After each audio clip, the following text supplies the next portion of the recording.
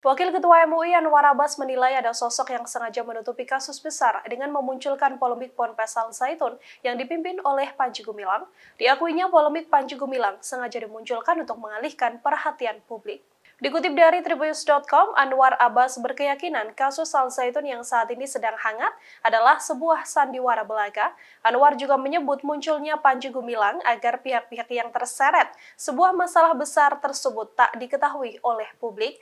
Anwar juga berujar apabila pihak yang terseret muncul akan mengganggu kenyamanan dan keamanan kekuasaan dari yang bersangkutan. Sehingga nama-nama mereka akan muncul dan menjadi perbincangan publik dan hal demikian tentunya bisa sangat mengganggu mengganggu kenyamanan dan keamanan dari pihak-pihak tersebut. Anwar juga menjelaskan kasus Panji Gumilang dimunculkan segelintir orang untuk sengaja memicu kemarahan dari umat Islam. Dengan alasan itulah Anwar mengatakan bahwa kasus yang menimpa Panji Gumilang tidak akan sampai ke ranah pengadilan. Ia pun mengakui akan menunggu tindakan dari pemerintah apakah memang kasus ini akan diusut sampai ke pengadilan ataupun tidak.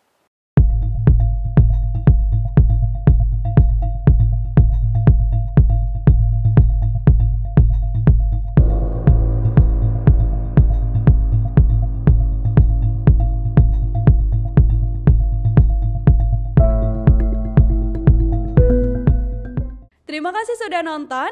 Jangan lupa like, subscribe, dan share ya.